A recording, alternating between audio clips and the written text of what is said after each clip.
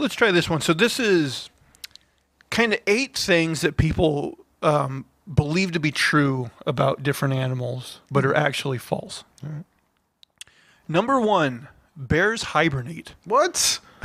I've been lied to my whole life. We'll see. Um, while it is true that bears retreat into their dens for the winter, they do not hibernate. True hibernation is a voluntary action where an animal slows down its bodily functions to survive a difficult period. Bears don't do that. Instead, they go into a state called torpor. You can think of torpor as a very deep sleep. It serves a similar purpose as hibernation, but there's one very important difference. Animals in torpor can wake up, and bears do, several times over the winter. This might seem like an in- insignificant difference, but if you're out and about in a bear area in winter, well, let's just say watch where you step.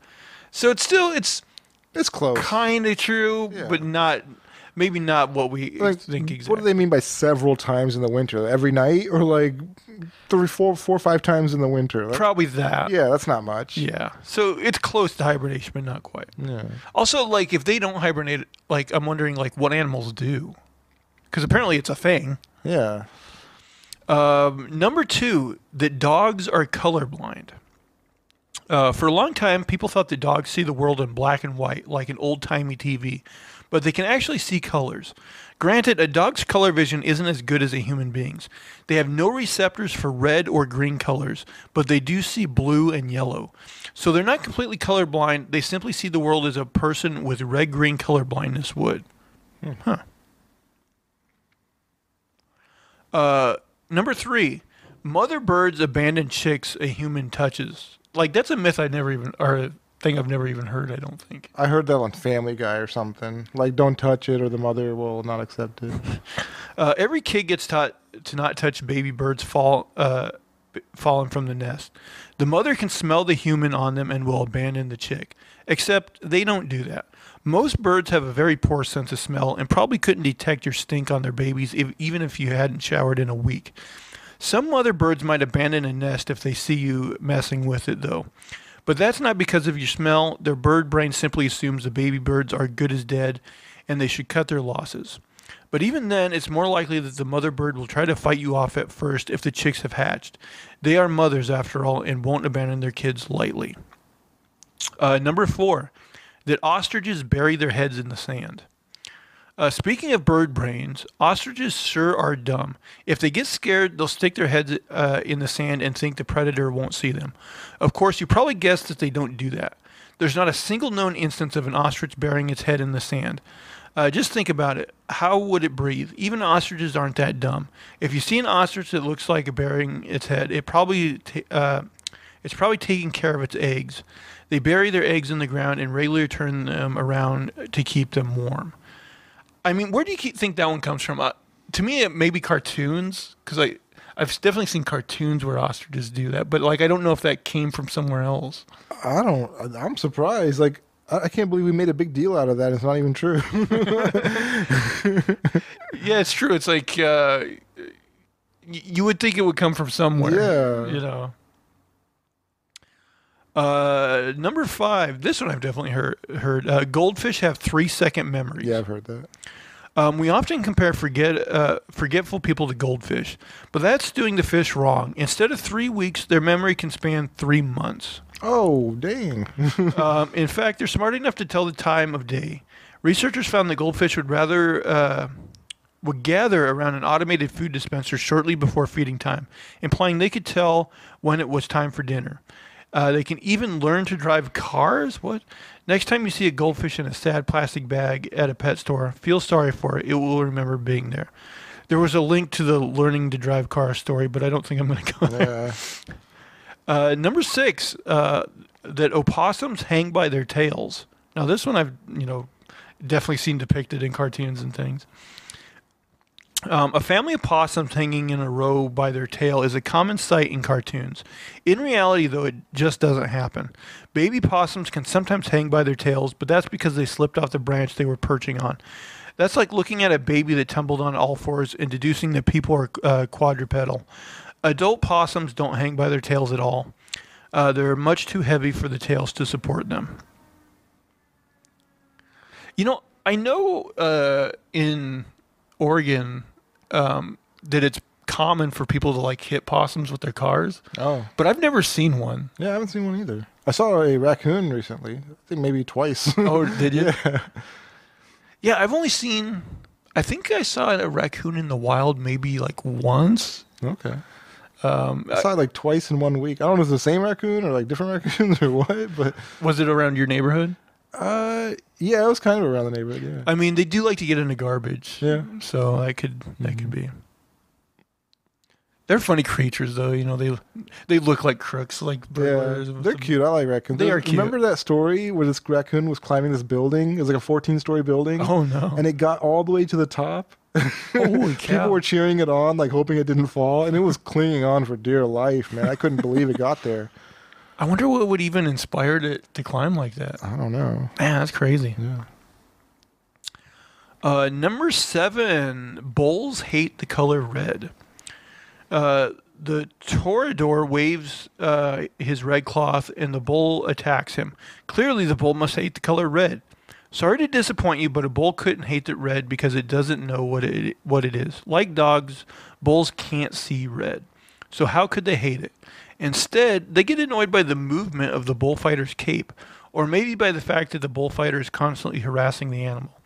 The red color actually has a more macabre purpose. It hides bloodstains, whether from the bull or the bullfighter. What do you think of bullfighting? It's barbaric. It is really. Yeah, yeah. I think I want to say uh, my brother um, went to like he, he for a while when he was in the military was stationed in South Korea, Hmm. and like I think he said he went to one. They there. have that there? I guess so. I think that's Oh. where he was. Okay. But yeah, I don't know if I'd want to see that. I guess you, there's always the chance that you might see the bull actually gore. Yeah, yeah, I'd be okay with that. Get that jerk. you know how many bulls he's killed? but you know, yeah, these this day and age, it does seem like a very barbaric thing for you know to keep doing. Just for sport. Yeah. Oh man, I've been um, listening to that uh, Quentin Tarantino podcast. Oh, he's got one? Yeah, Oh. and he talks about how like um, they eventually outlawed it in in the states, um, maybe in like the '60s or something. But like, you ever see like an old timey western where like there'll be a, a horse running and it'll just like flip like ass over tea kettle? Like they apparently did this thing they call a flying W, where they would actually tie a rope like to the horse's leg and just have it run at full speed, and then it would like jerk them over. Oh. And he said like it ended up like a lot of times it would kill the horse. Gee. And so they were very like uh, barbaric. But he said even when it was outlawed in the states, they would still do it in Europe. Oh. So like if westerns were shot in like Spain or whatever, they would still do those and like they did them for a long time.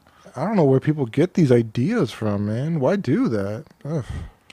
I mean, I don't know. It was a different time. they didn't Yeah. give a crap about horses. apparently. Hey, I heard uh, just like you know a couple centuries ago, uh, in the in America, people would just leave their kids on the side of the road, hoping somebody else would find them and like raise them. Like people, people were different back then, man. They were just they didn't care about their own kids. They sent them to work in factories, of course.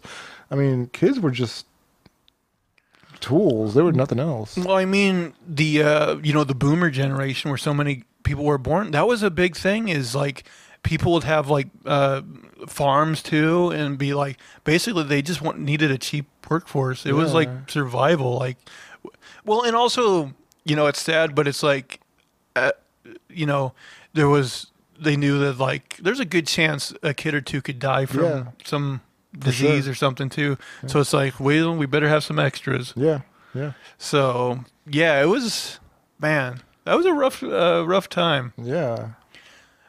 But still, it's a, it's like one thing to to where like okay, there's no way I can take care of this kid. Maybe I'll go um, leave it at an orphanage. Besides, just uh, you know what, I'm just gonna leave Johnny in the middle of the road and hope for the best. That's insane. Like they would sell their kids to people. They would. Like, it was just wild times. Like I get why it was called the Wild West, man. it's crazy stuff. yeah. And then the last one, number eight, uh, that lemmings commit mass suicide. Uh, sometimes during migration, a horde of lemmings uh, decides they just don't want to live anymore. They jump off tall cliffs by the thousands to die and prevent population issues. Sure, lemmings sometimes do fall off cliffs during migrations, and people sometimes die in traffic during rush hour, but we don't claim that's a suicidal human tr- tradition. The myth of lemming suicide comes from the Disney produced documentary White Wilderness, which showed the animals pulling off the stunt. But the lemmings didn't do it voluntarily. The filmmakers imported a horde of lemmings to Canada and intentionally herded them off a cliff. Oh my god. It wasn't suicide, it was genocide. Oh my god, talk about animal cruelty. What the heck? oh, so they're making a nature documentary and they're like, you know what would really sell this? If we Yeah. killed just a boatload of lemmings. let's make some shit up. I mean, the only reason I knew it was because of the old Lemmings video games. yeah. Oh, speaking of which, like, I don't know if it's any good, but I saw a trailer for this new video game called Humanity, Hmm. and it basically looks like Lemmings only with people. Okay. it looked interesting. I might have to check it out. All right. Um, but uh, good lord, And be nicer to animals, folks. All right. I just the fact that that came across someone's brain, and like a whole production crew was like, "Yeah, that sounds like a good idea." Yeah, you know, I fear that humans have a little too much creativity when we're coming up with these kinds of ideas. Let's uh let's run thousands of these things off the cliff. Well, we might still uh, bullfight bulls, uh, but uh, at least uh, we don't commit lemming genocide Yeah. anymore. So maybe as a society, we're getting a little bit better, a little uh, on the upside. Yeah. Oh wow! So should we wrap this bad boy up? Yeah, let's do it. All right, guys. Well, we thank everybody very much uh, for watching and listening. If everything goes to plan, I think next week we can do a review of The Flash. Yes, We're looking forward to that. Um, but if you will, please subscribe both to the YouTube channel and to a podcast in audio form on your podcast service of choice. Leave us thumbs up, positive reviews, uh, comments, all that good stuff. And if you want, you can come and uh, follow me on Twitter at Zach Jones Live. That's Z A C H J O N E S L I V E. And that is going to do it for all of our shenanigans and poppycock this week. Please, please, please tune in again next week. Bye, guys. Take care.